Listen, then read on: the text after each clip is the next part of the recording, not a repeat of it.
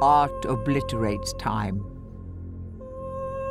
Ask any writer where the time goes when he is writing.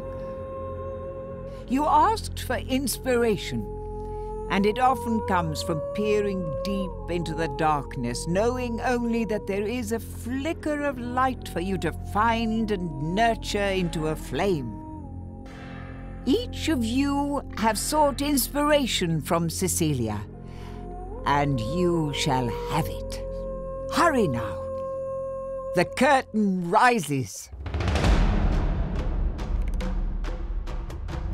So we're doing the story of Saint Cecilia, a remarkable story of a young woman in the second century in the time of Rome. And there's all this artistic activity.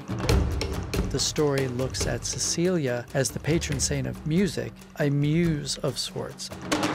I could tell just her story and that would be enough, but how do I expand this into inspiration throughout the centuries? So I had this idea, and I bring these diverse characters from different times and places Dryden, Handel, Benjamin Fisk from the present, Maderno, who does the statue. So now they're in a place together outside of time and space where they're going to witness the life of, of St. Cecilia. I am Cecilia, the one for whom you search.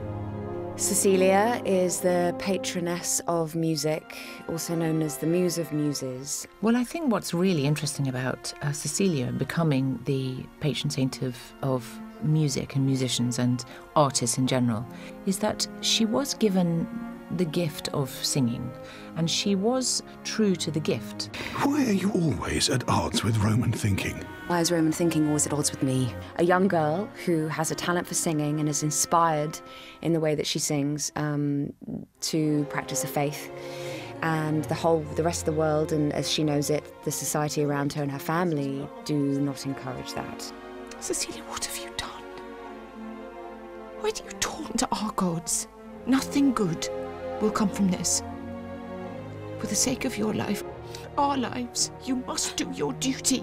She walks towards the, the, the fate of that and her destiny with a real grace and dignity, full acceptance of knowing that to carry out her faith would, be, would does mean death.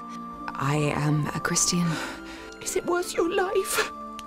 It is more than my life. We will make a show of allowing her to go home as if I am being compassionate.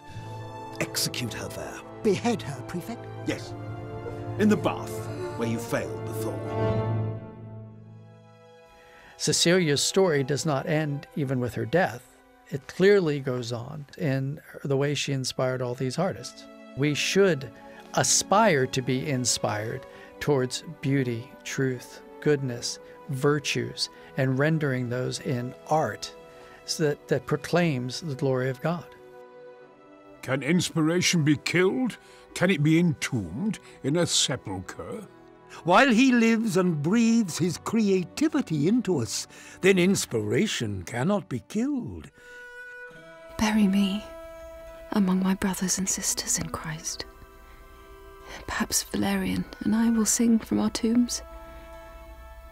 Our voices breaking through the stone in perfect praise of God out.